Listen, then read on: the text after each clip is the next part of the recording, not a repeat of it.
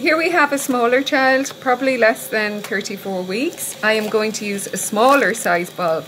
Both size bulbs, both the green and the blue, are available in our labour and delivery department. If you can't find one, ask for one. Someone will get one for you.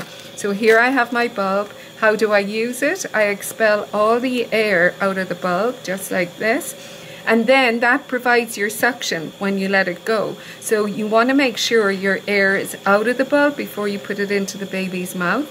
And then what we're going to do, we see some gathering of secretions on either side. So I'm going in on this side, letting it pop back, and there I have my secretions, clear my bulb, and go in on the other side. Here we go. Get it out, get rid of my secretions.